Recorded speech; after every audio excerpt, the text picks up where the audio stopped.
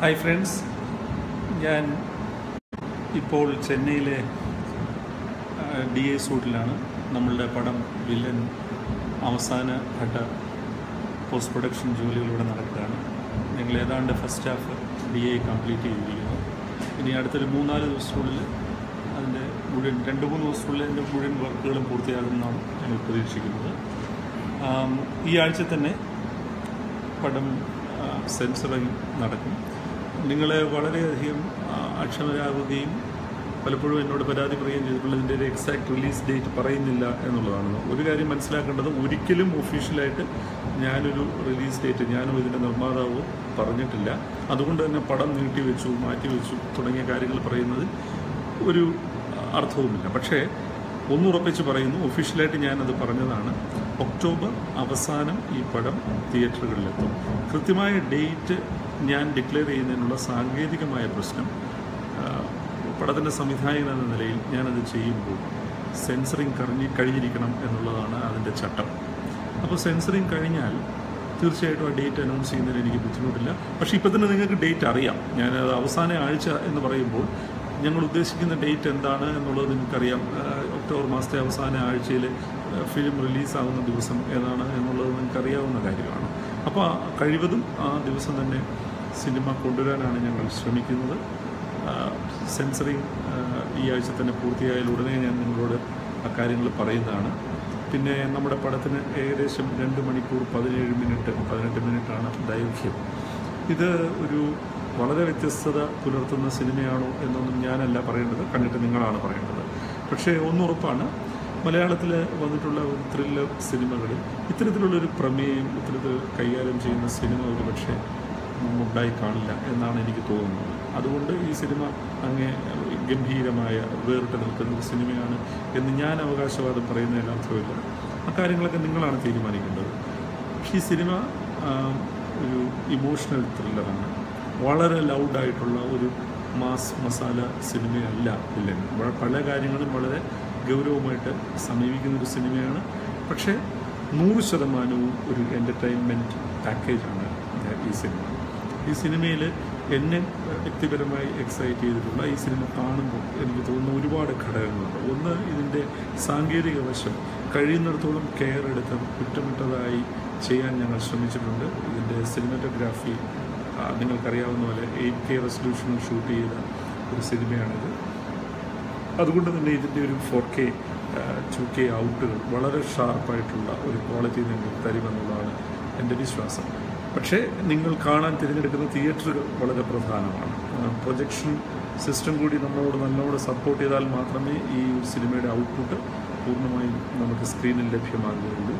ഇതിന്റെ സ്കോർ സുഷിനാണ് ചെയ്യുന്നത്. വളരെ നന്നായി അദ്ദേഹം അദ്ദേഹത്തിന്റെ ജോലി ചെയ്തിട്ടുണ്ട്. പാട്ടുകൾ ഇതിനോടൊപ്പം തന്നെ വളരെയധികം ശ്രദ്ധ പിടിച്ചു പറ്റുകയും യേശുദാസ് സാർ പാടിയ കണ്ടിട്ട് വന്ന പാട്ട് സൂപ്പർ ഹിറ്റ് ചാർട്ടിലേക്ക് വന്നിരിക്കുകയാണ്. ഒപ്പം മറ്റു പാട്ടുകളും.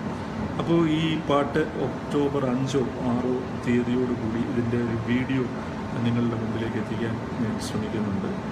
പിന്നെ ഇതിന്റെ സ്റ്റൺ കൊറിയോഗ്രാഫി ഇന്ത്യയിലെ തന്നെ ഏറ്റവും പ്രധാനപ്പെട്ട സ്റ്റൺ കോറിയോഗ്രാഫേഴ്സാണ് ചെയ്തിരിക്കുന്നത്. ഒന്ന് പ്രവീൺ ഒന്ന് രവി വർമ്മ മറ്റൊന്ന് രാം ലക്ഷ്മൺ പിന്നെ കൂടാതെ ജി എന്ന കൊറിയോഗ്രാഫർ ചെറിയ ചില സീക്വൻസുകൾ ഇവരെല്ലാവരും കൂടി ചേർന്നിട്ടാണ് ചെയ്തിരിക്കുന്നത്.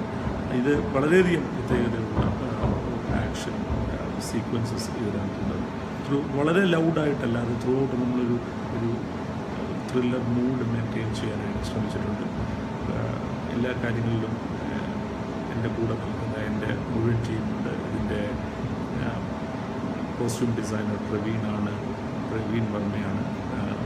മേക്കപ്പ് ശ്രീജിത്താണ് അത് എന്റെ ചീഫ് അസോസിയേറ്റ് ഡയറക്ടർ ജയൻ എല്ലാവരുടെയും ഒരു ടീം വർക്കുണ്ട് പിന്നെ എഡിറ്റർ ഷമീറാണ് ഷമീർ എന്റെ കൂടെ ചെയ്യുന്ന ആദ്യത്തെ സിനിമയാണ്. ഇതുവരെയുള്ള എന്റെ എല്ലാ സിനിമകളും മനോജാണ് ചെയ്തിരുന്നത്.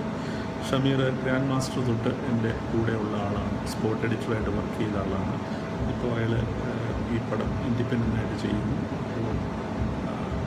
വളരെ നന്നായിട്ട് ഒരുപാട് തവണ ഞങ്ങൾ ഇതിനെ ഇതിന്റെ ഒരു എഡിറ്റിംഗ് പ്രോസസ്സിലൂടെ കടന്നു പോയിട്ടുണ്ട്. പലതവണ പല രീതിയിൽ ഇത് എഡിറ്റ് ചെയ്തിട്ടുണ്ട്. ഇത് ഫൈനൽ എഡിറ്റ് ഫോമിലേക്ക് ഞങ്ങൾ കൊണ്ടുവന്നിരിക്കുന്നത്. അപ്പോൾ എല്ലാ രീതിയിലും ചെയ്യാവുന്ന എല്ലാ കെയറും ഈ സിനിമയ്ക്ക് വേണ്ടി എടുത്തിട്ടുണ്ട്. പിന്നെ ഏറ്റവും അവസാനമായി എനിക്ക് പറയാനുള്ളൊരു സംഗതി ഇതിന്റെ ഒരു പെർഫോമൻസ് ആയിട്ടാണ്. ഞാൻ ഉറപ്പിച്ച് നിങ്ങളോട് പറയാം. ഞാനും ശ്രീ മോഹൻലാലും ഒന്നിക്കുന്ന നാലാമത്തെ സിനിമയാണ്. നമ്മൾ അദ്ദേഹത്തിന്റെ എത്രയോ വേഷങ്ങൾ ഇപ്പോൾ വർഷക്കാലമായി കണ്ടിട്ടുണ്ട്. അതിൽ ഏറ്റവും ഷാർപ്പും സെറ്റിലുമായി അദ്ദേഹം ചെയ്തിട്ടുള്ള ഒരു ക്യാരക്ടറാണ് ഇതിലെ മാത്യു മാഞ്ഞിരാൻ എന്നുള്ളതിന് എനിക്ക് നിങ്ങൾക്ക് നൂറ് ശതമാനം ഉറപ്പ് നൽകാൻ കഴിയും. ഈ സിനിമയുടെ ഒരു പവർ പില്ലറായിട്ട് നിൽക്കുന്നത് ശ്രീ മോഹൻലാലാണ്.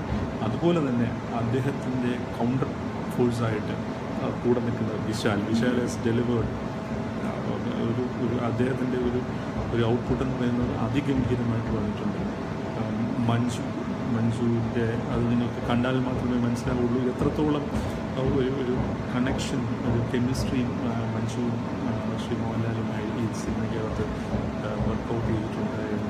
ഹൻസിക രാശി ഖന്ന ശ്രീകാന്ത് രഞ്ജി പണിക്കർ സിദ്ദിഖ് വലിയ സപ്പോർട്ടിംഗ് കാസ്റ്റ് ഉണ്ട്. അജു ഉണ്ട് ചെമ്പൽ ചെമ്പൻ വിനോദ് വളരെ പ്രധാനപ്പെട്ട ഒരു വേഷത്തിൽ ഇതിനകത്ത് ത്രൂ ഈ സിനിമയിലുണ്ട്. അപ്പോൾ ഇതിനകത്ത് നായകൻ കഥാപാത്ര അല്ലെങ്കിൽ ക്യാരക്ടർ വേഷം വില്ലൻ എന്നുള്ളതിലൊക്കെ അപ്പുറത്തെ എല്ലാവരും ഒരു ക്യാരക്ടറായിട്ട് അവർക്ക് വളരെ കൃത്യമായി ഐഡന്റിറ്റിയുള്ള ഒരു ക്യാരക്ടറായിട്ടാണ് ഈ സിനിമയിൽ വരുന്നത്. അത് ഈ സിനിമയുടെ ഒരു മേജർ പ്ലസ് ആയിരിക്കും എന്ന് ഞാൻ വിചാരിക്കുന്നു. ഏറ്റവും അവസാനമായിട്ട് എന്തുകൊണ്ട് ഈ ടൈറ്റിൽ എന്നുള്ളതാണ്. ഈ ടൈറ്റിലാണ് ഈ സിനിമയുടെ കേന്ദ്രമായിട്ട് ആരാണ് വില്ലൻ എന്നാണ് ഈ സിനിമ ഉയർത്തുന്ന ഒരു ചോദ്യം. ആ ചോദ്യത്തിനകത്ത് ഒരു സിനിമയെ സംബന്ധിക്കുന്ന കഥയും പ്രമേയമുണ്ട്. ഒപ്പം എനിക്ക് തോന്നുന്നു ഇന്നത്തെ സാമൂഹിക സാഹചര്യങ്ങളിൽ വളരെ പ്രസക്തമായ ചോദ്യമാണ് ആരാണ് വില്ലൻ എല്ലാ മനുഷ്യരിലും ഒരു വില്ലനുണ്ട് എന്ന് പറയാൻ ശ്രമിക്കുന്ന ഒരു സിനിമയാണ്. ബാക്കി കാര്യങ്ങൾ ഇനി അടുത്ത തവണ ഒരു ലൈവിൽ നിങ്ങളോടൊപ്പം. അപ്പോൾ നിങ്ങളുടെ എല്ലാ സപ്പോർട്ടും വേണം അനുഗ്രഹം വേണം വിമർശനം വേണം എൻകറേജ്മെന്റ് വേണം എല്ലാം ഉണ്ടാവണം. Thank you so much bye